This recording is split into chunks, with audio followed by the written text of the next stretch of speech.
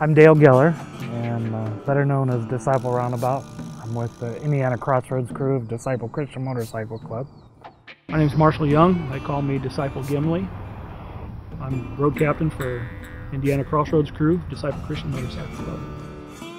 And we're putting on what we call the Rescue Run, which is a motorcycle ride and benefit concert for Destiny Rescue.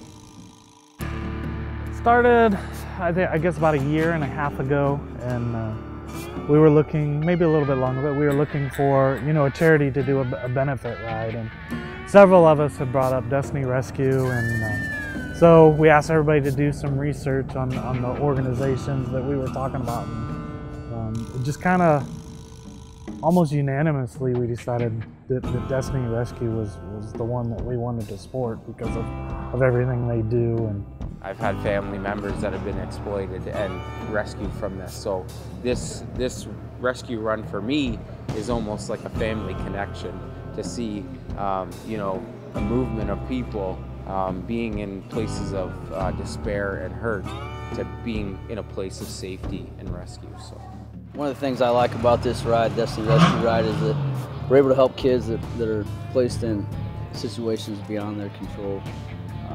You know, it's a very unfortunate situation for a lot of these children, and, and we're able to not necessarily go in and, and, actually do the rescue, but we can have part in sending the, the correct people in to make a rescue and remove kids from those circumstances.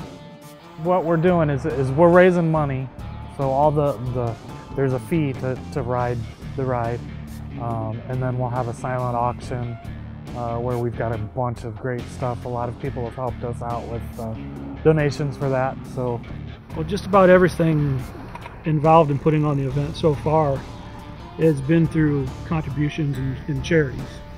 You know, it's all been donated.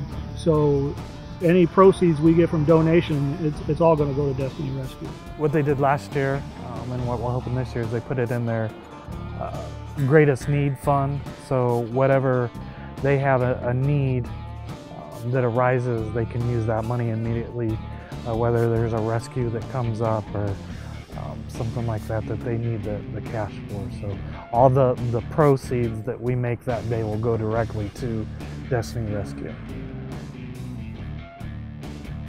This is how we rescue. What can you do?